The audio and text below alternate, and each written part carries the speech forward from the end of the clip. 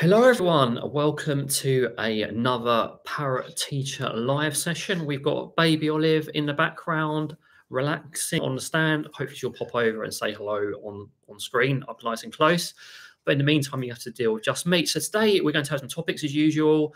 Um, I'm going to answer a couple of questions that people have asked in the interim, maybe sort of allude to something as well, talk a bit about my course, our course, so it's coming up, and then do the usual Q&A and chaos bit at the end where you know you guys can ask me and Sophie questions, and we can sort of hopefully help you out of your parrot related problems. So this the topic of this live is primarily going to be enrichment and then a bit on hormones. I want to talk about enrichment because it's such an important part of having a bird, looking after a parrot, and generally just making their lives much better. Enrichment is so important. And if you think about it, enrichment, it's important to any living creature. We need our enrichment, be it um, doing sports, going for a walk, eating nice food, or just playing on our Xbox or whatever else. Every, every creature needs enrichment from the tiniest to the biggest, and it's so important to provide it.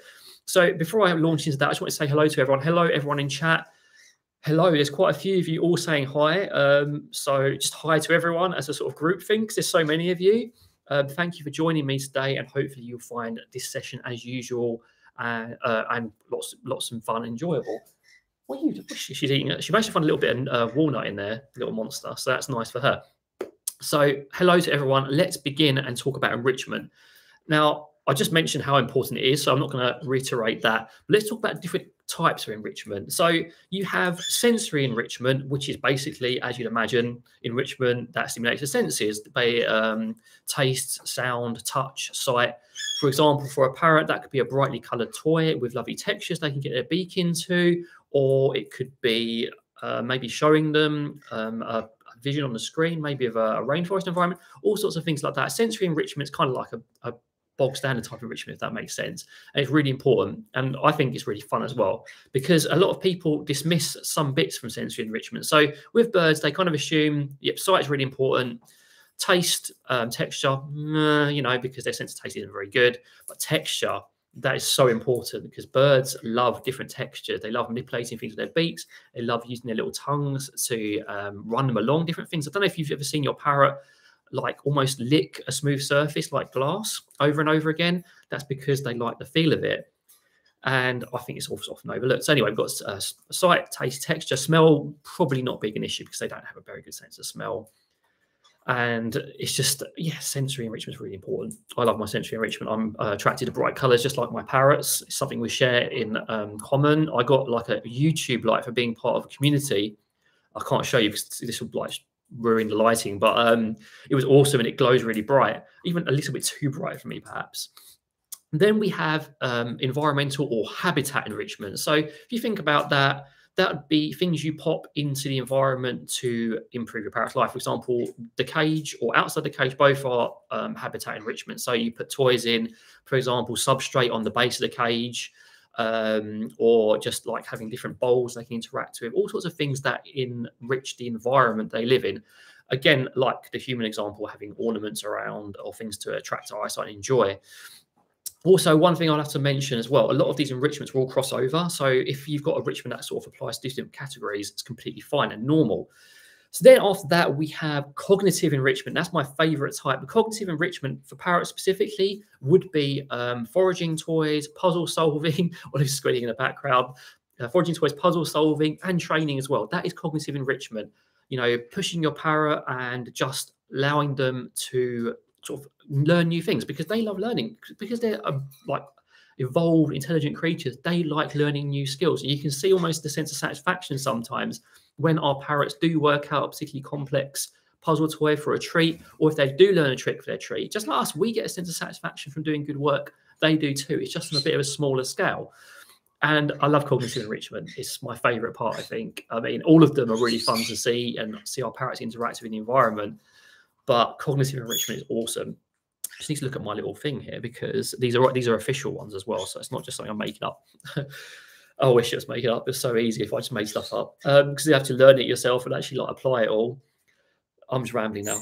Just be quiet now. So anyway, social enrichment, another really important one. Social enrichment, again, because if you may have seen my recent video on should you keep parrots alone, it's also important. And social enrichment can come from us as a human. So your parrot gets social enrichment from us, us talking to them, interacting with them, playing with them, having lots of fun. Training can also fall into that category.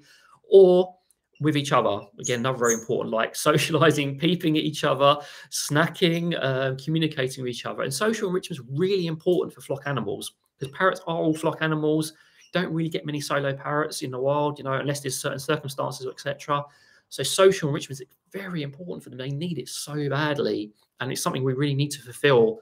Either as us humans, I think I said this in my very first live actually. Us, us humans need to fulfill it if there's no other parrots in, in the environment, or you can have it for other parrots. And you can get a little bit from cross species, but it generally does is better when it's the same species, they can communicate in their own language.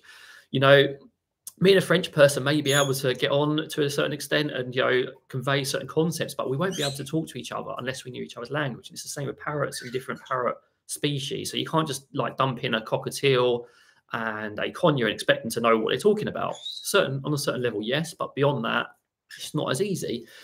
And then finally, um, hello to everyone. Sorry, before I go on, everyone, hello, everyone joining in. If you have questions, remember I will be talk, taking questions later, and Sophie will probably pop in as well. Um, the usual parrot chaos, that's towards the end after we've done the sort of topic side of things. So I like to start off with a topic, just launch into things, get people to filter in, and maybe some, hopefully, something interesting for you guys. The final type of nutrient, the big five of um, enrichment, is nutritional enrichment, and that is anything to do with food. So that can be, again, crosses over taste, texture, foraging for food, anything to do with food is nutritional enrichment. And it's, this is one, this one sort of cropped up a little bit more. People have tended to um, ignore this one a little bit, saying, you know, parrots shouldn't get their enrichment from food. It shouldn't really be a primary source of enrichment for them but it's creeping in. I think it's really important because if you think about it, parrots spend so much time foraging in the wild. Why on earth would you not use this part of enrichment? We enjoy eating. So why would a parrot? And just because they have no sense of smell, and just because their sense of taste is a little bit worse, well, quite a bit worse, but they still taste stuff, doesn't mean they can't enjoy the textures of food, doesn't mean they can't enjoy foraging for food. And if you have a conure or maybe a macaw, a sweet beaked parrot, you know how much they like their, their sweet flavors, how much they will go for them you know so it's important to not ignore nutritional enrichment and that does lead on to a plug for our course because i do have to mention it and i think it's important to keep talking about it. We do have a course on nutritional enrichment coming up the different ways you can apply it why it's so important um, some of the sort of aspects of how birds select their food as well we talk about that. Look at some studies as well that have been done on various animals, uh, sorry, animals, on parrots, basically, to how they choose food and what they enjoy doing. So if you are interested in that course, do feel free to book. Um, if Sophie can, if she can hear me, pop on a link to the course so people can sort of like click on the shop and learn a little bit more about it. The morning sessions still got, a, thank you, thank you very much, Sophie. The morning session still has a fair few places, but the evening session is selling out quite quickly. So do consider booking if you are interested but nutritional enrichment ever so important. So let's just have a quick break. Now I've talked about enrichment to catch up and say hello to people. Oh, Tash, a military macaw and a cockatiel. It's quite a big difference. It's quite funny how the cockatiel wants to be friends, but the macaw's not interested. Now, oh baby, all right. So I can't. Do you want to sit on my hand like this? This is gonna be easier for you. So baby Olive normally sits just on the bare hand, but when it comes to these lives, you're getting excited. You're not even that nervous, are you? She gets nervous during live sometimes, like last time, because I think the light's right up in her face. Hello, are you gonna wave to everyone? Are you are you very excited? Because I'm talking so loudly. Are you very excited? Should we be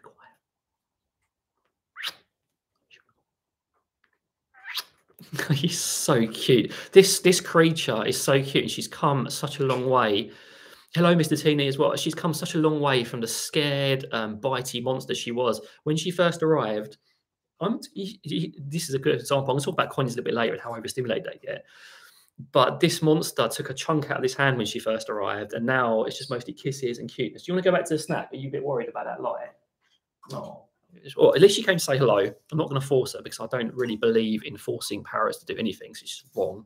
You know, it should all be consensual. She is the cutest. So again, hello to everyone. Oh, so Gina, yeah, Squirt's favorites crinkle paper, cupcake paper. Yeah, ours love crinkle paper. Conures just throw them out and go crazy. Oh goodness, she is. She's so cute. So we're gonna catch up on the chat a little bit, and then we'll go on to the next bit. yeah, Gina, I know. I was like to I try we try not to keep birds out during work because they are just so liked it. And also someone asked me actually um, after the last live, is this all is this all your parrots do? They just sit on that stand. Like, no, this is during a live, you know, so this is a kind of a special circumstance. Normally the parrots be all over the place, then you know, let them do what they want. But because it's a live stream, we have to have some sort of like control, I suppose. So they've all had their morning outings, their afternoon outings and then after the live, assuming they come out anyway, they'll have some more outings after that as well. Um, so yes, they do do not just sit on a stand all day normally, but obviously Sophie's doing modding. I'm sitting here. I can't supervise them properly, so I only have one in the background enjoying themselves. So it's much easier. Uh, yeah. So hello everyone. So yes, I'm going to be taking questions a little bit later. Mahogany Pod's awesome, amazing. Everyone loves it. So Sophie's hopefully going to maybe filter down the questions for me later. So let's launch into the next bit. So before I go on to a couple, of questions people asked before the live stream, I want to talk a little bit about something that's coming up. And it's not a plug for selling or anything. Um, so lemon rice. So we're not sure, honestly. We're thinking of maybe privately recording it ourselves and then making it available to download, but we're not sure. So at the moment, it's only going to be available at those live sessions on that day we will keep you informed about that in the future. But anyway, so patrons do not spoil this or anything, but me and Sophie do have another announcement coming up. We will be having a little super secret surprise for everyone. Um, if you want to guess on it, feel free. But if you already know, don't spoil it for everyone else because we're fairly excited about it. Sophie's very excited. I'm a little bit less excited because all sorts of things are going on in the environment. So we'll have to wait and see what happens. But yeah, just to allude to that, that something's coming up soon if you want to take guesses as well, I do have another a new desk as well. I don't. That's a hint, but it's a really vague hint, so it probably doesn't help at all. So let's take a couple of questions. Then we're going to talk about hormones. Then I'm going to see how baby Olive's getting on, if she's getting bored, if she wants to pop back in, or if she wants to interact again. And then we'll go to the question section and just the general burly chaos. I won't be doing any training, live training today, because I, I don't want to try and get Chip to do it, do his trick because he doesn't want, he's not really into it at the moment. Where are you off to? Are You off to you getting bored already? Just make sure you tweet at me when you're ready. So um, sand substrates cropped up a couple of times as well. It, kept, it cropped up in our Discord server. It's cropped up as a question in my DMs a couple of times as well. Um, we do not recommend sand substrate. And substrate gets kind of a bad rep, mostly because people use inappropriate types for their parrots. There's lots of appropriate types. You know, you've got Carefresh, you've got Easy Chick, all very good. And There's lots of inappropriate. And sand there was a study done on it that is just no good for parrots. I've, I've, been trying to find a link to that study as well since I initially read it. It's been driving me nuts. And I don't know where it was. But yes, do not use sand because it can cause crop impaction. It's almost guaranteed to get ingested on some level if you've got a parrot. It does blow around as well, depending on what you type, what type you use. If you're using the non-blow around type, it's even worse for the impaction issues. So avoid sand. And then also, I've, I've had a lot of people who have just got conures contacting either me, Sophie, or our business, or um, like um, in general, basically talking about conures. I don't know if they're becoming a very trendy pet again because it was ringnecks before they were a trendy pet because of social media. Conures are becoming trendy pet. And if you noticed with Olive just now, when she was sat on my hand and I'm talking loudly, you saw how overexcited she got there. And Olive's pretty good now. She's very well trained. She's a very sweet girl. But imagine another conure in that situation, or it's one that's just come into your house they might bite very well bite you in that situation because they're so overstimulated. So um, generally, the questions I've been getting are like, how how do I bond with my conure? What do I do with my conure? Take your time, let them settle in. You can't just expect them to like immediately be happy in your house. You need to let them relax and get to know you. And also, you want to start teaching them good manners right from the start. If they don't know how to interact with your hands, they don't know what to do. So you want to teach them to interact softly with you. And the best way to do that is by holding the treat up and above, so they have to reach for it. I would demonstrate Olive, but I haven't got my little treat thing, annoyingly. Um, what I'll do actually, I'll demonstrate now. I'll try and see if I can do it now because I think it's a good good example. I think this was covered in another one, another live as well, but I don't see any reason why we can't show you now. Righty, baby, you're going to target. So when you're targeting, you want to do soft targeting. So where are you going? Put this up really badly. You want to do soft targeting, so you come from above and to the front from a distance, so she has to reach, ever so gently touches and then rewards. Again, you'd want to do that saying touch and you want to say a bridge as well. You want good practice, but I'm just doing this demonstration. Also, a really easy technique for encouraging your conure, any parrot to be gentle. You come there. good girl, is coming from above and, and coming from above and to the front, just the same, but make them reach that treat so they can't get any bite force. And it's so simple targeting and that, but over time, it does pay dividends. I want to keep these treats here in case I need them for later. And um, it does pay dividends and it does teach your parrot to interact with you softly. So if you're just starting out, start off with targeting, start off with treating them, getting all those habits into the best way uh, the best form. Make sure that they're, they're happy to train and doing well. She is very cute, Klaus. She's so well behaved as well. Do you want to come over again? Are you going to be nervous again? Do you want to treat this time? Away for me. You can wait for everyone. What's a good girl? You going to spin for everyone? Am I doing the wrong hand? I'm not doing the right cue, am I? Wave one more time. Good girl. So Olive's a bit funny with which which hand you cue her to wave as well, uh, to spin with as well. But um, yeah, she's very sweet and she's a good example of best practice, basically, by using techniques such as soft targeting and making sure you do the treat from above. So, so all those conures owners who are asking that, if you're watching, make sure you do follow best practice with your parrot. Get into good practices. I, was, I said this in a consult the other day, and it's in those Patreon video as well. You need to build your foundation. For, what do you want? You need to build your foundation. you want more treats, don't you? Okay, one more little baby. Build your foundation because if you don't build that foundation, all those lovely tricks you want to do aren't going to happen. Where do you want to go? You can't have a laptop, baby. You can't have a laptop. All right, if you want to stay with me for a second, then we can go in, in a second. Again, live streams, but she's so well behaved. Build your foundation first and then build on that. So you've got your passive bonding, you've got your all your training there. Then you go up to your target training, your best practice, step up training. Then you can do the fun things. If you try and jump straight to those things, then that tower is going to collapse. Everything's going to fall apart. It's going to go really badly. I hope that ramble was educational and useful. How did we train her to wave? Sophie, do you want to cover that in the chat? Because look, I don't think Miss Miss Baby Olive is going to want to demonstrate again, are you? No, you can't have my drink either. It's not good for you. Right, I'm going to pop her back in. Give me one second. I'll be back. I want to give her a drink as well because she's thirsty. You're such a good girl. You come in. What's this? What is it? Is it too exciting? Do you want to stay out or do you want my drink? Should I just. Sophie, yeah. do you fancy like popping baby? No. She's basically too excited. She doesn't want to go back into her home. So I'm just going to leave her here for a second She's gotten so excited by all the training and everything. Look at you. She's currently kissing Sophie's hand and basically refusing to go in. So it's like, you know, sometimes put in bird time, they don't want to go because they get so fun, enjoy themselves. There's a reward there, but she's literally just wants to stay out now, even though she's getting fussy and she's thirsty. Anyway, totally distracted there. So let's talk a little bit about hormones and then uh, the chaos has already started with baby Olive. No, she doesn't. She doesn't know what she wants to do. She's she's getting a drink now, so she may just stay out. Sophie's just caved in, giving her a drink.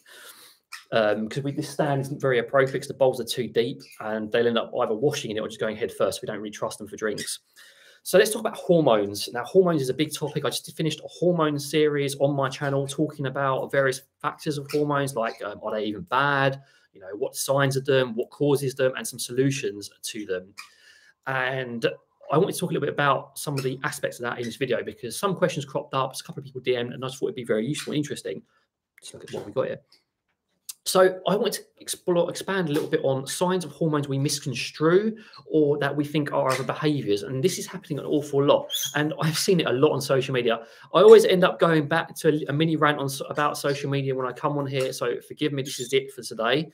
And like people were encouraging hormonal behavior, but misconstruing it as bonding behavior or cute behavior. For example, they were like doing that. I'm not obviously wouldn't demonstrate that with a parrot because I wouldn't want to encourage it. Doing that, the parrot was like um, resting their head back and thrusting, and they were like, "Oh, they love it, they love it. It's so, so they're bonding with me, they're bonding with me. It's getting hormonal. You're going to get bitten in a second, and the amount of hormonal behavior gets misconstrued, especially by people who are relatively new to parrots it's just so important to do your research and learn about them.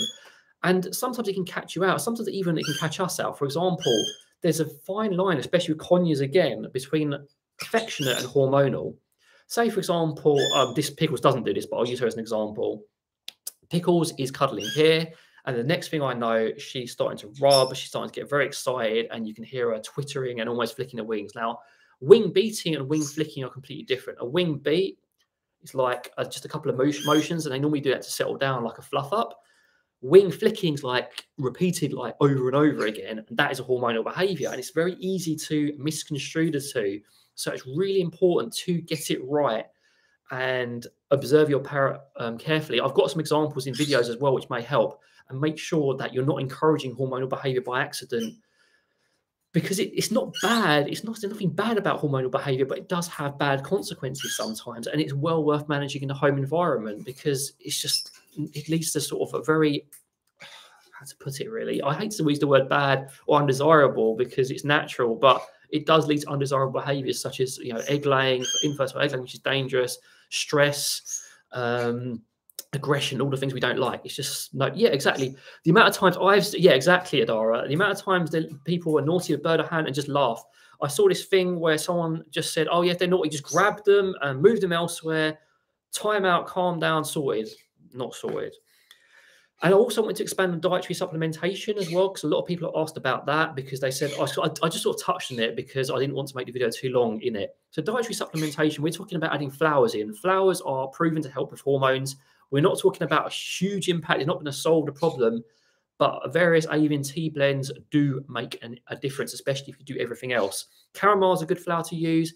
Uh, Tulsi tea is a good uh, flower to use on its own. Make sure it's not from a tea bag. It's loose leaf and brewed um, cold, so it's cold when they ingest it very good. You can also provide it dry. There's loads of avian tea blends. I think Jason's started to make his own avian tea blends. If you're in the UK, you've got Polly's. So it's well worth giving it a try because they are, they're, nutritional enrichment as well. They're lots of fun for your parrot. And avian tea blends are very good in general for your parrot to ingest and enjoy. And we, we, I mean, I must admit, a long time, it feels like a long time ago now, I was quite skeptical about them. Like, it's just flowers, you know. And I tried them and the parrots loved it. And they, there wasn't noticeable impact. So it's well worth trying if you consider it. It's not hokey, it is proven, it is very good. Gamer girl, you just literally, if you just popped in, I literally was just talking about green cheeks. Um, be prepared, do some research about them, their behaviors, green cheeks, and be prepared to have them. And for potentially a quite a nice ride, but potentially a rocker, rock, rocker, a rocky ride of them. Because they're conures are probably one of my favorite types of parrot. And I, me and Sophie said it before when we first we're looking at another one after um, getting chip and fish. We weren't considering a conure, and then Pickles just just like adopted us almost. And then it's rescue conures central now. So yeah, conures are amazing, green cheeks, etc. But just um, take it very slow with them. Try and train good manners with them as early on as you can through what I just mentioned earlier in the video through um, treating appropriately, uh, soft targeting, do be aware you probably are going to get nipped and beat a little bit. Let them cuddle, but don't let them cuddle too much and inappropriately. Um, and that sort of thing. Um, again, if you watch back or watch some other videos, I've got loads of conure content because they they outnumber our poor cockatiels like two, almost three to one. So that actually brings me to the end of um, the pre-prepared stuff that I like to talk about. So it's going to be time for the usual chaos with birds coming out and me addressing any of your questions, anything else you want to go on about. Um, I'm happy to answer any questions, talk about any topic. Um, yeah, I think Pickles and Scampi will have to come out a little bit because I think um, they're just brewing up for it. And maybe they'll be cute and cuddle. Good. Doing chamomile tea, I like a bit of it as well. It's really good. Um, so, what age does hormonal behavior arise? It, it, depends on the bird and a different species. Most commonly, it's called the terrible two, so that gives you an indicator, but sometimes it can be even earlier, later. It depends on environmental factors the more environmental factors, in fact, as again, this is one of the videos, the more environmental factors feeding into hormonal behavior, for example, not enough sleep, um, inappropriate diet, um, inappropriate petting, the more likely you're going to have hormonal behavior. It's like a checklist. The more that gets checked off, the more likely it's going to happen. So it can happen any sort of time. So Mandy's beauty. I have a question. My one-year-old green cheek has broken her brand new blood flight feather. Oh dear, two times would not what is there a reason she keeps doing it? I'd look at maybe the cage environment. How how is she doing it? Is she like catching her feathers when she's climbing around? Is she getting overexcited? Uh, um, also, it's well worth treating that as well. You know, even if you're just putting some um, corn corn flour on it just to stem bleeding. I'm you're probably doing that already. But yeah, look at the environment. What's causing it? I mean, I wouldn't say it's a particular reason. She's out when she does it. Could you maybe expand on how she does it? Is she doing it by crashing into things? Is she doing it by pulling at them? Because um, it would help like give an answer to it. Right, have I missed? So I've covered lemon Rice's question. Do feel free to drop questions. If I've missed them, uh, do forgive me. I'm going to try to read back. I like the name Melinda Naruto. It's very anime themed. Right, let's. Uh, I'm going to start with Melinda and I'm going to work way down. If I've missed your question before that, please do repeat them. So, one of my buddies not feeling well. I went to the avian vet because of his left eye being watery. Naruto is syringe trained, does not like the taste of the medicines. What to do? Do I need to grab him and force medication with his beak? That's a last resort. Um, if he's syringe trained, you can also try um, soaking millet in the medicine. That may work. That may encourage him to eat it. Try. Um, try to get him to do it voluntarily. That's the best way. Only catch him up and do it and force him if you absolutely have to, because it will break trust and it kind of defeats the object of it. Um, you can mix it with juice. If he's syringe trained, mix the medication with juice, something he likes. Um, those are the usual techniques. With Baby Olive, for example, when she had to have medication, we used to um, use a tiny, it's a very rare thing. We don't approve of human food at all, but for this situation, it was okay. Tiny bit of bread and dip, um, put the medicine on there. She'd eat that. Would never use human food otherwise. We don't really approve of it for birds.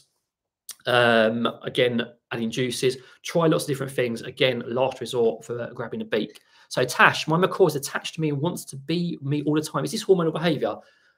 Probably, maybe, maybe not. Depends. There's other stuff going on. If your macaw is attached to you and wants to be with you, that could be just they're just attached to you and want to be with you. If they're like rubbing themselves on you, if they're constantly um, eye pinning, going like really excitable on you, or getting aggressive towards other people when they're on you, maybe. But um, that's a yes or no answer, I'm afraid.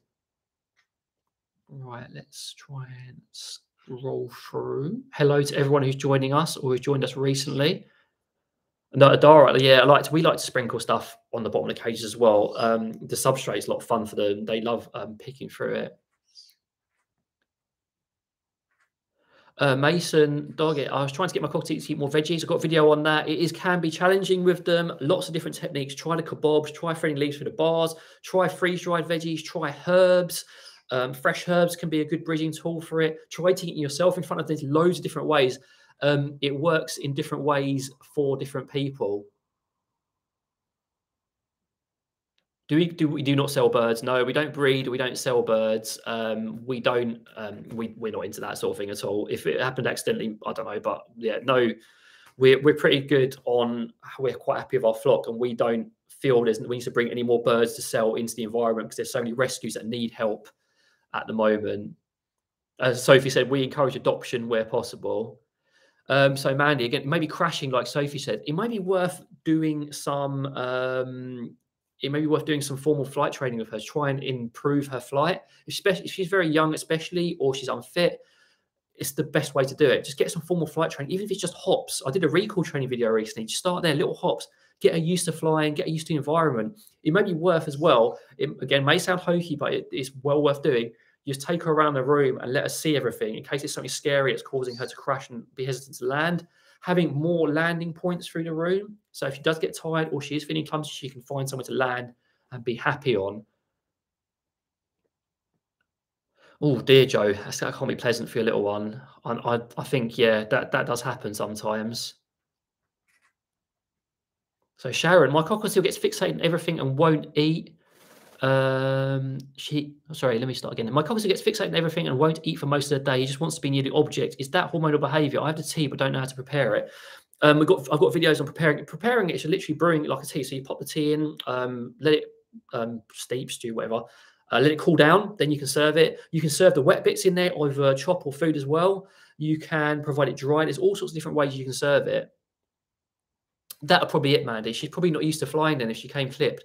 So I'd highly suggest just trying to do some, just get her used to flying short hops. And then the more she gets used to it, the more confident she can ever flying. And, you know, that's just one of the sad consequences of clipping. It does affect the bird's abilities to fly. They still try to fly a lot of the time, and some of them can still get lift depending on the clip, but then they can't do it properly because they're not used to it.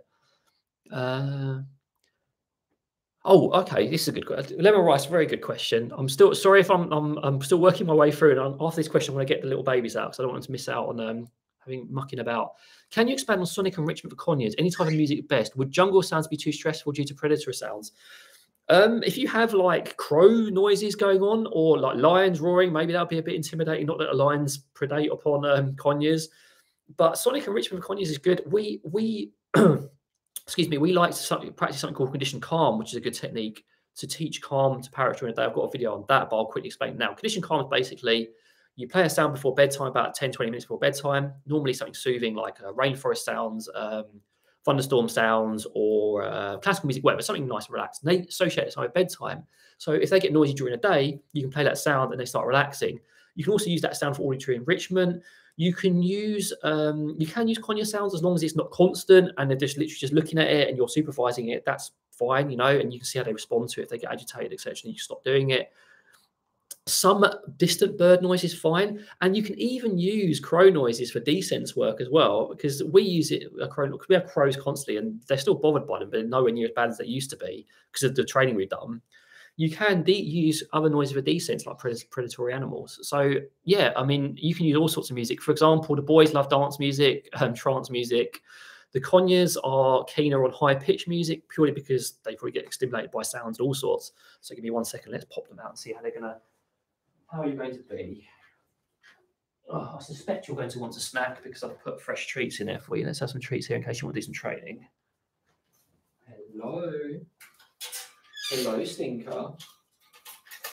You coming out? You coming out as well? Where are you going? So Where are we going? We're going to come and say hello to everyone before we eventually snack. Hello. Hello, Pickles P says hello. Scampy seems nervous about the light. This is normally why I sleep in front of the computer, by the way. they're not really big fans of the, the light, like to illuminate quite so. Are you getting excited? Here's the perfect example. I'm getting excited. They think I'm excited. They're getting overstimulated as well. And Pickles is dancing on my hand right now. Are you dancing? Are you dancing for everyone? Are you excited? And you're being really calm, aren't you? Are you good boy? Wow. I'm I'm shocked. Pickles is getting overexcited and Scampy's just relaxing. Oh, I thought they were going to go straight for the treats behind me. Honestly, they may still do, but we'll wait and see what happens. So let's try and catch up. Uh, Peggy, if you just lost a feather, that's not really a big issue. You know, as long as it just come out normally, it's completely fine. Why does it keep zooming to the bottom? It's really annoying. I want to catch up with everyone. Okie dokie. We don't want you on there. Thank you, little terror. So you can step up for me. That's a good boy. Let's see if you do want snacks because you're going to turn off my live stream and we're all going to be very sad. Do you not want a snack? Oh, you want a poo? Okay. Oh. Yeah, there we go. And you, Pickles has been really mean to him recently on that stand as well. They they share for most of the time, and then when she gets bored of her bowl, she'll be like, "I'm gonna chase you off now." Uh, right. Let's sorry. Let's catch up. Natasha, hello. One of my colleagues is very wary of everything that happens around him by nature. Because of that, he gets moody and defensive a lot and bites us quite a bit. How can we help him feel more safe? Descents work. I've got a video on descents, getting used to different things that are scary in a constructive way. That are really, really helpful. Help build his confidence through training. Just, um, just build his confidence. You know, make sure he's very a, a well-rounded conure. Uh, the descents work will explain a lot better than I can in this because there's a lot to cover with that. So yeah, descents work training build his confidence.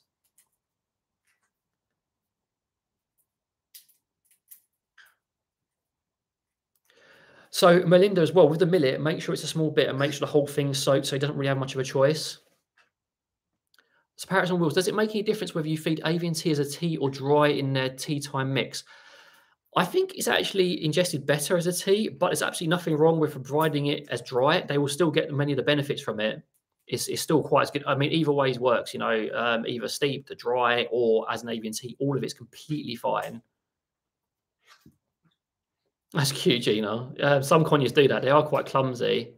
How did we find our birds game, girl? So um, we went to rescues basically. Um, Pickles was, I can't say it again. I say this story every single live stream. So I'm not going to do it again, as tempting as it is. Um, we basically went to rescues and they were rehomed to us. Um, Louis and Kipling's a slight exception. Someone we knew had a change in circumstances, wanted them to go to a good home, so we took them on, even though we felt like it's a bit much, but we're like fine. And they're getting on very well actually. Um, they're very cute. Kipling stepping up much better on me, and Louis just wants to be with me a lot, which is very very rewarding. He's such an adorable bird. I'll be doing a video on disabled birds coming up soon as well, with contributions from some of you as well, because I want to. I, I mean, a lot of you guys know a lot about how to look after uh, birds. Because just because you know someone is an expert or whatever It doesn't mean they know everything, and a lot of people will acquire knowledge just by trial and error themselves. You know, it's all part of a big experiment. We're all bird owners, and a lot of us will have something to contribute. And I think that's often overlooked by a lot of people due to arrogance, and I don't like that at all. I had a comment at the end last last uh, live stream where I told someone off for that sort of behaviour. So yes, um, all coming on. What have we got going? It seems that I have an allergy to substrate. What else would you recommend? Um, what you could try try a different type of substrate. Um, what sort of allergy? If it's dust related, then I, I really, really like Easy Chick purely because it's dust extracted. It, um, if you're really struggling and you can't use substrate, then you can't use substrate. You know, you just have to try something different. Uh, Sherry, just a question. My two African greys feed each other, but if I haven't got a nest box up, they won't mate with each other all day. Quite, they may, they may do. Um, just because I don't have a next nest box, they may still mate. A bit of feeding and regurgitation is um, normal behavior. It can be hormonal, but if it's not very often, it's normal. If it's constant, yes, obviously hormonal. They may still mate and they may just drop it at the bottom of the cage or in a place in your bird room or house. So, yeah, they still, they're just not, not having an, the absence of a nest box does not preclude mating behavior. So, Rob, my bird is bonded with me, and I wonder if he would just fly away if I took him outside. No, Rob, don't just take him out. Um, a lot of there's a lot of factors at play. Uh, if you want to take him out, take him out of travel carrier, uh, put harness on him. You do not want to lose your bird in that way. It is the thing is, even if your bird loves you, it's bonded to you, it really wants to be with you. You take them out into that environment. All it takes is a crow to fly by, something to just panic them, they're gone. And because they're in that panic mode, they won't automatically think my human's there. I want to return to them. They will just keep going, and then it's gone. Especially with small parrots. So don't take the risk. You can obviously do free flight training. If you can find a really good free flight trainer, go through all the steps at home, train your bird in the house, um, get someone to train with you. And, you know, so basically for free flight training, it's not just training the bird, it's you need training as well. So train yourself, train the bird, then maybe give it a try, but please don't risk it. Uh, loads of horror stories on that one. Just, just please don't. Oh my goodness, I'm so far behind. I'm literally only just at the bit in the chat where uh, Pickles and Scampi came out. Oh my goodness, Pickles P. I. So heard that I bought a cockatiel. Do I think I'd buy a budgie? Um, budgies can be bullies, as Adora said. So another cockatiel would be ideal. Uh, Lemon Rice, can you share any tips for beginning the transition from pellets in a bowl to pellets available in foraging formats? My Conure ditches pellets in its foraging toys, mostly because it's not a seed. Um, so if you watch our channel often, me and Sophie aren't the biggest fans of pellets. We think there's much better ways to feed a parrot. Um, if you want to try and um, feed pellets available, try and make them more appealing, I guess, but not in, don't feed them horrible sugary pellets or anything like that to make them more appealing. Um, try and find a way to motivate them for that pellet, or just have the pellet in the main diet and use the seeds, which are more motivating for foraging. Because if the pellets aren't motivating, then they're not really going to want to forage for them. So keep the seeds there. Um, what gamer girl? Why are they're not in the same cage? Are you talking about everyone? Um, because they're all rescues. They all have their own sort of um, backgrounds. They don't all get on. Um, again, this is something that crops up often. Like, for example, the boys and Olive get on very well. Pickles gets on with the boys. Louis and Kipling get on with no one at the moment. Scampy. Scampy generally gets on with most uh, birds, but he is very um, flighty and with other colonies can be very naughty. Are you going to wave for everyone? You going to spin for everyone? You going to spin? I'm not doing this cue right because I can't wave my hand properly because I'm trying to hold it above you. Everything's a lot, a lot lower. So, yeah, you can go back. I just want to say one second. I want to make sure he doesn't want to drink.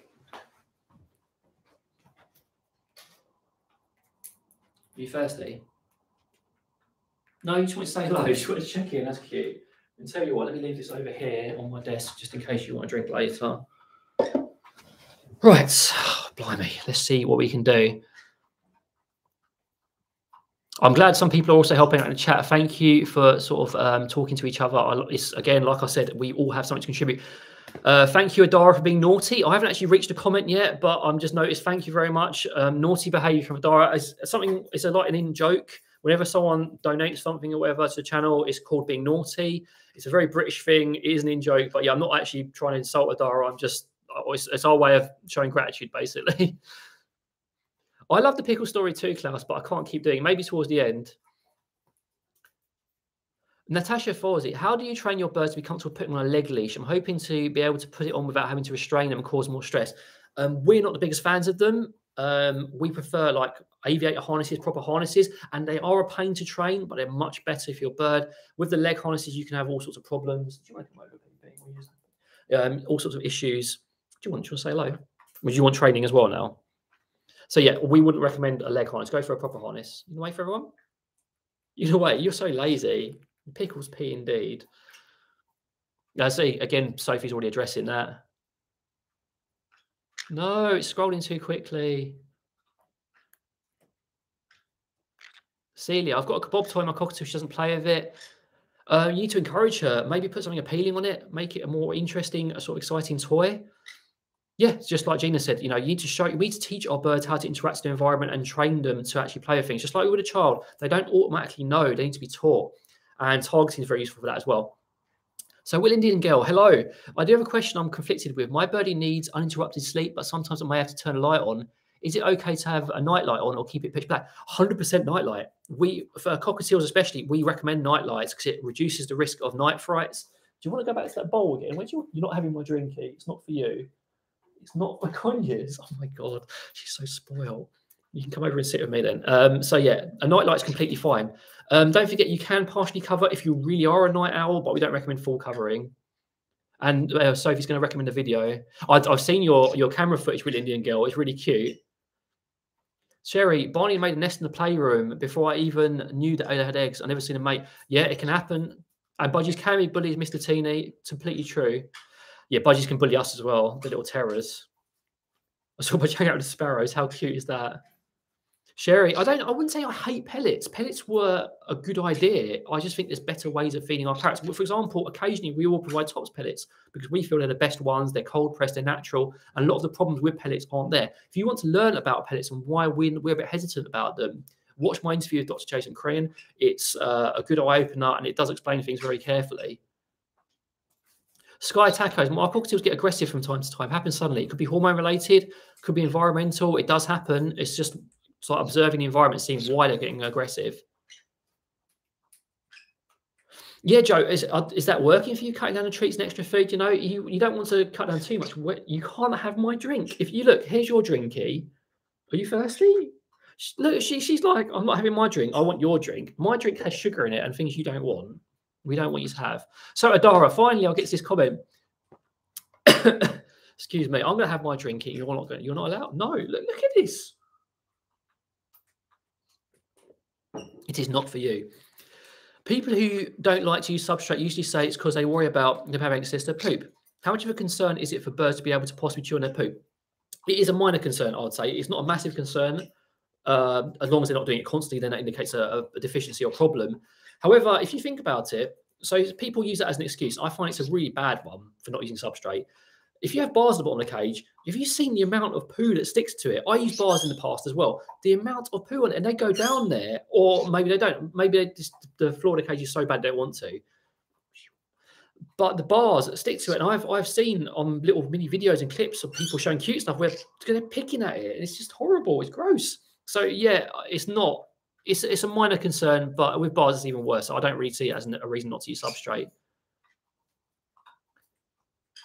Uh, the Dar 99. Do you have any food recommendations for birds under the weather to keep them hydrated, etc.? Um, apple cider vinegar is good.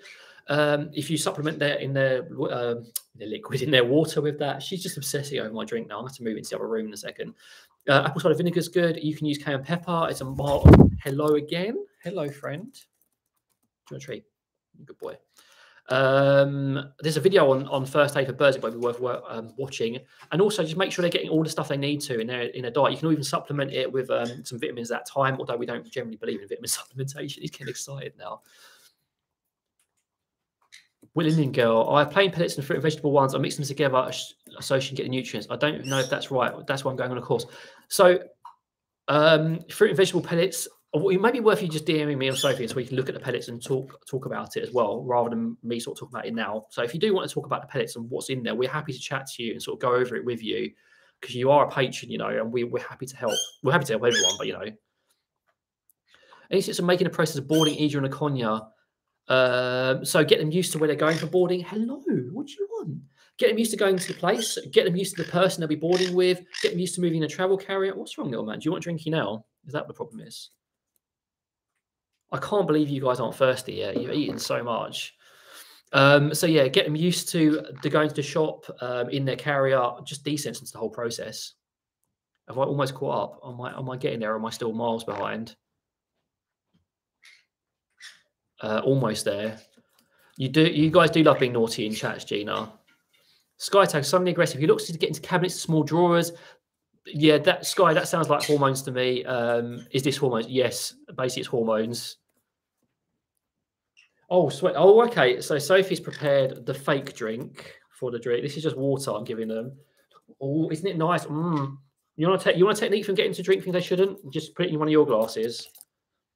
It's just water. My drink is elsewhere. Look at this monster. She, and she she even think I swear it's like um, she's imagining what it should taste like. she's just. Do you want to do you want to entertain these two monsters before he steps on something that turns the live off? Look at him push. Oh my god, these guys are so cheeky. This is why I like these guys. They're so full of personality. Would you? You do it for me. You can kiss me on. You can kiss me on screen. Before you go. Has someone got a? I think Chip may have got up his nose. Could you handle Scampy's off? Continue this live stream, and then yeah. Oh my goodness! Right, let's try and catch up. There's the chaos part. Uh, Mandy's Beauty. When I take my new bird to the vet, the one that keeps breaking her feather, do I keep both in the same travel cage, keep their stress? That's up to you. If they're happier together and they're both okay, you can do that, or you can do it separate. I mean, I'd probably take them together, then you can both get a checkup potentially. Uh, Chloe, yes, you can add apple cider vinegar to water. Sophie's got an excellent video all about apple cider vinegar. It's better than what I've got. So I suggest watching her video. You can watch my parrot first aid video if you want a quick introduction. Sophie's video is a lot more, it's a lot more detailed. Um, just make sure you get proportion right. Yeah, they are like that, and it's quite funny. You can use it to trick them to drink things they they they should be drinking rather than what they shouldn't be. Yeah, decoy bowl at dinner. It's always a very good. Yeah, we'll get chip and fish out for the last little bit. Um, I'll be live for another um, maybe 15 minutes, then I'll be packing up. So if there's any more questions you want to ask, please feel free to drop them in the chat we'll get the boys out because they're kicking off and they're obviously missing out on all the fun, so they're getting a bit annoyed at me. Uh, so a decoy bowl at dinner, yeah, it's a very good idea. Um, we don't have the birds out at dinner very often, but when we do, we have sort of like give them their own thing, so it's a flock feed. Normally, what's quite funny is when we eat our dinner, they'll all go to their bowls and have another snack same at lunchtime is quite cute to see is they are very inquisitive gina's last minute I was, I was wondering if we were going to get a session without you being naughty i just don't think you can resist can you gina so thank you very much um, as always you can't resist uh, thank you yeah so where, where have you gone off to you gone back to the chat it's up to you if you want to sort of um, hang around or you want to lurk. Do you know which one's my drink, which one's theirs now? This one's mine. I'll quick sip. We'll get the boys on camera in a second as well once they filled up. Because that's probably why they're yelling. Because they're jealous they weren't getting this nice snacks. Because they've had their dry mix, but they had this. We tend to put like some more treated foods in the bowls when they're doing live streams. We're doing live streams. Oh my goodness! And uh, now it's Alice as well who's being naughty. Thank you, Alice. Thank you. No, we are very grateful to all of you who support us because it does help a lot. And thank you very much Gina, Alice, and Adara, especially for the, the, the donations, basically. So let me catch up a little bit. Uh, and then we'll have the boys out for the last 10 minutes or so. So my birds, uh, Natasha, my birds start making a lot of noise when we leave them alone, and this can go off quite some time. Some say that we can reward them when they quiet down. Would you recommend that? Yes. So you want to reward for calm. If they're making lots of noise, they're basically wondering where you're going. You're part of the flock.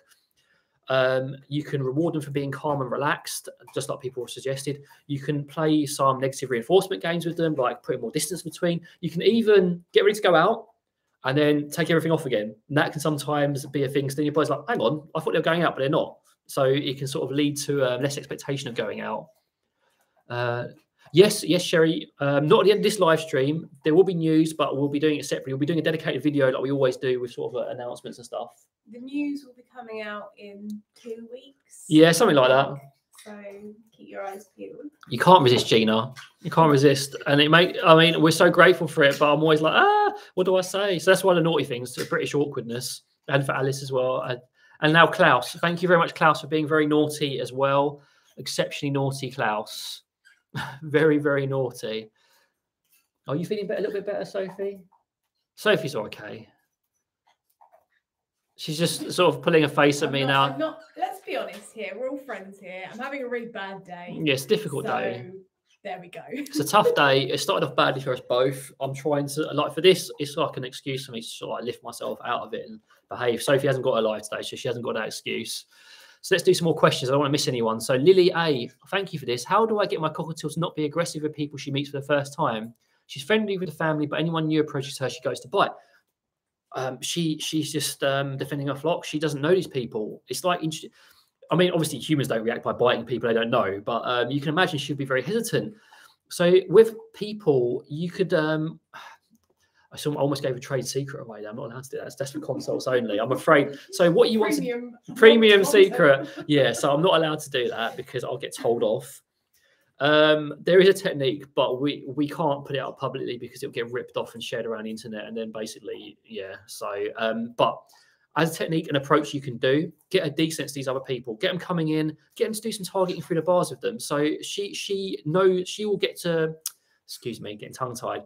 She will get to know these people through protective contact. She'll be behind the bar, So it'll be safe for her in her safe space, safe for them, and they can just feed her treats and they can give her treats and do some targeting. Then she'll start to associate new people with positive things and she'll be less aggressive and it's safer for everyone. Lemon Rice, we have a clean sock over the bars of our conure's cage when she snuggles with it at night. She doesn't seem to chew it or interact with it during the day. Is that sock an idea or a danger? Uh, yes and no. So if she doesn't chew it, it's less of a danger. I wouldn't really recommend a sock. We tend to recommend like a cuddle toy, um, natural toy. Like Olive has a cuddle toy. Do you want to come over as well? You're such a good boy. Me Chewie's going to come over in a second. Yeah, you want a cuddle toy. Um, sock's not the best idea. Like we don't recommend cozy hearts. Mr. Teeny, we don't ever expect naughtiness. We're grateful for it. We never expect it. So thank you for the thought and for being naughty last time.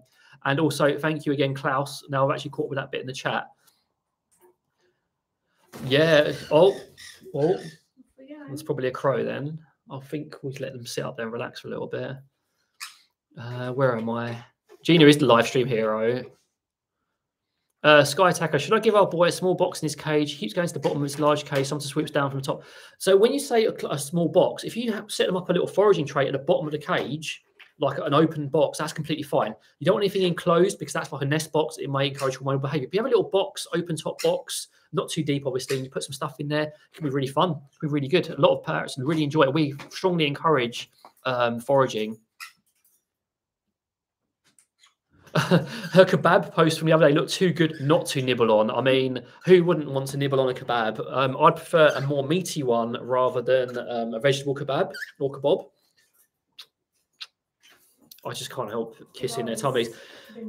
Adara, you've been naughty yet again. Thank you as always. And this little emoji, it's a heart to you as well. Um, something I this is something actually I was going to mention. I didn't put on my note sheet. People comment that I do kiss my birds. So there's two reasons I kiss my birds. One, it's a very quick, very dry kiss, and it's um, not like a overstimulated thing. Number two, I want that behavior trained with our birds. Why do I want it trained? Because it allows me to feel their keel bone whenever I want. I don't know if Fish will let me. I don't want to disturb them too much. So the keel bone's here, and if you thank you, Fish, go back to your snacks. If you feel their keel bone, you can get an indication of health and weight. If the keel bone is very prominent, you can probably assume they're a bit underweight, and you can, you know, you'll maybe want to feed them up a little bit more. If it's what's wrong? Oh, sorry, I thought you were going to tell me off. If it's like if there's loads of like meat around there, uh, then they're probably a bit big. And it's a very easy way because your lips are quite sensitive or your nose, and you can feel that keel very easily. So I, I try to train it all our birds. Uh, I wouldn't risk it with Kipling. I'm starting to do it with Louis, but all of our birds will accept that sort of kiss, and it's a very easy way of testing their keel bone. Uh, obviously, apart from the obvious of weighing them, but um, sometimes that may not indicate the same thing as seeing a keel bone. So it's very useful. Me and Sophie both do it, and it's a productive way of using a kiss rather than just kissing them all over and getting them overexcited on the back, etc. So it's very good. So, guys, if anyone, ha- what's that? Yes, Mr. Team, that's a great idea. large plate you put under a uh, big flower pot. Anything can be a foraging tray, you know, as long as it's quite big and it's got um, it's got a small lip and you, you can put your substrate and bits and pieces in there. It doesn't even have to be substrate, just toys and stuff. Anyone has any last minute questions? Now's the time. We've got about five more minutes. And I'm going to wrap it up. Um, I'm going to probably leave the boys to just mind their own business, enjoy themselves. They're not really, don't seem in the mood to interact at the moment. So any questions, please feel free to shoot them over. And again, a gratitude to all of you for watching me, and big gratitude to those people who have donated some money. Again, always helpful. Don't forget another plug while we're talking about money. Nutritional enrichment course. Join us. We'll be good, and you will learn lots about nutritional enrichment. Yeah. Yeah, Sophie's not as enthusiastic about it, but yeah, it's going to be good. It's going to be awesome. We're just literally finishing final touches and we're always finding extras to add. And we have scientific studies because everyone loves Scientific actual- studies. Everyone likes to say, "Show me a study," so we're going to show you a study to prove our points. Um, yeah, I'm, I'm very excited, and I hope you guys who signed up too. And thank you so much to everyone who has signed up. We're, we're just really excited to share knowledge and collaborate. What do we use to weigh our birds? Um, we use a little kitchen scale. I think Sophie can actually show it to you. We can she can wave it in front of the screen. Just basically, it's an Amazon basics kitchen scale with a, a tea stand on top. You can, you know, it's just a scale basically, and you train them to go on it. You train them to get off, reward them. It's really easy. Jennifer, I kiss mine on the beak, but always make sure my lips are dry. Yeah, uh, it's important to make sure your lips are dry because our saliva ain't very good for them. You don't want to be No way. no wet kisses. It's, uh, it's not very good. Platonic friendship. Cardboard egg cartons are very good. Yes, definitely, Adara. We love them. How long will the course be? Um, I think we may we should we should have called it seminar really around the course. Basically, it's an hour and a half, Roughly. roughly an hour and a half. So, um, in terms of what it's going to be, we're going to have a little introduction bit where people filter in. We're going to go through all the elements of nutritional enrichment. I've sort of alluded to some of it now, but it'll be a lot more detail. We'll talk about some studies. We'll talk about ways you can enrich your bird's life through nutritional enrichment, why it's important. Chibi singing.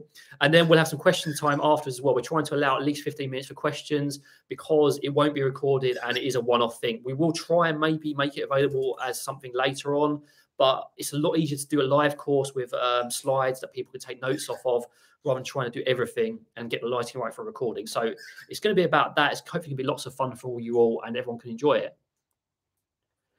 During hormonal behavior, what should be um, so? Watch basically as we come into the end, Sky. Watch my hormone videos. That'll be the most useful thing. Manly, no problems at all. Always happy to answer questions. Do bring notes if you uh, notepad if you're um, watching the course. It will be useful. Yeah, Sophie Burrito. I think we have work later, so there won't be any Sophie Burrito for a while. We have a consult we need to do. A very sweet little little cockatiel. Thank you, Carrie. Um, Thank you, Carrie. very very um kind of you to say we just we we need more people to watch us darn it we want more people to watch us because we we don't tell our own horn but we're doing all right you know we're learning more i mean do you want another, so we give another sneak peek i'm thinking of doing maybe a master's in um PG cert, a PG cert, basically a postgraduate um, course to do with animal behaviour. Sophie found a course for me, and I'm thinking, well, why not? I want to learn more. I want to expand my knowledge. I'm thinking of doing that. So yeah, we're all learning, and we want to apply that, that knowledge and help share it with everyone. I'm hoping one day we win the lottery or something, so we can just do it all for free. We have to Everyone just the get, lottery first, wouldn't you know what I mean? The other thing, the other thing. in the YouTube views lottery where we yeah, yeah, YouTube views lottery. Oh, so Sophie um, got approached by YouTube recently. We got really excited for a video of Olive, and they did, and they put it on their stories, and it was weird pets. And also, what was really annoying is it seemed a bit fixed as well for the votes as well. And it was so Olive was so cute. She was doing a dance. She's not a weird pet. She's cute. She's up against a, a really cute iguana and a rabbit that was eating. Like a rabbit that was eating. Yes, Lemon rice has been naughty. that says it all. A lemon rice, very naughty. Thank you very much. Uh, Thank you for joining. I think it's your first um, excursion in a naughty club. I like the emoji as well. Um, yeah, do try a, make sure there's a stand on the scale um, because it does it can be a bit inaccurate sometimes. And you can also take an average. Do three um, weighings and take an average of it to help. It's, it's basically you want to get a baseline and, and sort of maintain it. Uh, freeze dry is good for dry mix. Yeah, freeze dried veggies are awesome to. because freeze dried are um, like retains more than dried basically. Sophie says ninety five percent. There you go. She yeah, lemon rice joined naughty club. Thank you, thank you everyone. Thank you. The voting method was really silly. I was like, what is this? It's like a fix almost. Right, lemon rice. We we got squeezing like two questions. Sophie's looking at me. Right, it's time to cook chicken wings in a minute. Do you want to pop the boys away while we're um, Yeah, while I'm do. wrapping up, and then we'll finish. suggestions, 'cause I'm Your mum, your mum's just popped in. Uh, We have to go on for at least two more minutes now because Sophie Everyone wants has to. say hi, Sophie's mum. Hi, Sophie's mum. Everyone has to say hi to Sophie's mum. Uh, the lemon rice, other than Planet Pleasures, who we talk about all the time for um, enrichment and toys and stuff, uh, mysafebirdtoys.com, I think it is. Is amazing. You get all the different toy parts and Yeah, loads they're of stuff. really you make good. your own, but it's also really affordable in the US. it's really good. It's really good. Yes, loads of good places. US, you US guys are spoiled. Um, it's getting better in the UK and Europe. Although with Brexit, getting stuff from Europe's a pain, but in the UK it's getting better, and we're trying to promote it. I like. I actively. So we're we're quite affiliated with Northern Parrots. We quite like them as a store in the UK, and we're, I'm constantly trying to email them ideas like this. I like this toy. It'll be good. Giving them feedback and all sorts of things.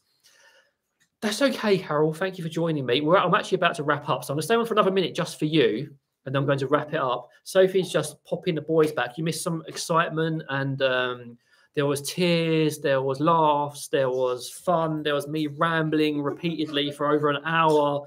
I don't know how I don't know how you guys tolerate it. To be honest, I can't believe people sit here and listen to me for an hour. I mean, my students in the past had to listen to me like, and they don't look so bored. Even when I was enthusiastic about my subjects, they were like. "Ugh." So thank you guys for being so enthusiastic and helping me um, teach people. Good, and these recommendations are good. Keep on recommending to other people. Christine's Chop Shop is very good. Uh, Yeah, definitely. I've, I've heard that one crop up yeah. before. Thank you, Peggy. Take care. Right. So, what I'm going to do now, I'm going to start wrapping things up. Thank you all for joining me. I hope um, you enjoyed the chaos. As you said, we're we would like to say we're pretty good bird trainers, but not, not everything's perfect. You know, Olive didn't want to step up, and I'm not going to force her. So sometimes you have to cross these bridges and deal with these things. Um, if you can deal with Mandy's question, please. Uh, Sophie's going to answer your question in chat, Mandy. Um, so yeah, we will. Cro- everyone crosses these training issues. It's just the way it happens. You know, don't feel bad about it. Everyone does. A lot of people try and hide it on social media, but we're not like that. we're bird trainers. We want to be as honest as possible, and we want people to learn from our mistakes, from each other's mistakes. Everyone to just basically learn. So thank you guys for joining me. I hope you enjoyed it. From me, Sophie, and the flock. She's waving. Mm-hmm. I hope you all have a really good weekend and see you later.